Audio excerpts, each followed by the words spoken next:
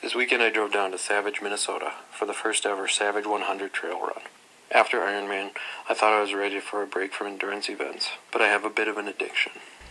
You have no idea how bad it gets. I wish I knew how to quit you. The race started at 3 a.m. and was a 16.7 mile course that we ran six times. For the first few hours, I ran with a group of what I thought was coal miners because it was still dark, but it turned out to be some really strong runners. We were all after the elusive 100 mile belt buckle. In 100 milers, they give out belt buckles instead of medals to finishers. The first two laps went as expected. I cruised along at a nice easy pace. Then I saw Granny had come down to cheer me on. That was a big pick me up. I ran like a gazelle. After 50 miles, I saw my mom, Jake, and Kyla had come to cheer me on as well. Also, paces were allowed. I explained to them that we were running on horse trails and they had to watch out.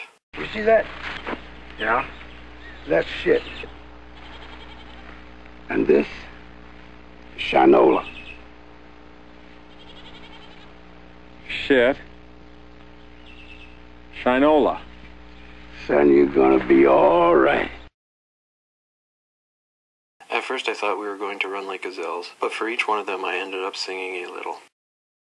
I said, wait, slow down, hon. I'll be seeing ya. First, I ran with Jeannie, then I ran with Erica. Jeannie joined us for a couple miles, a couple different times. Then I ran with Madonna, then Erica again, and then Madonna again. I finished at about 5:30 a.m. on Sunday and got my buckle. People always talk about triumphs of the human spirit. Well, today I had a triumph of the human body. That's why everybody was applauding for me at the end. My guts, my heart. While I eventually puked my guts out, I never puked my heart out.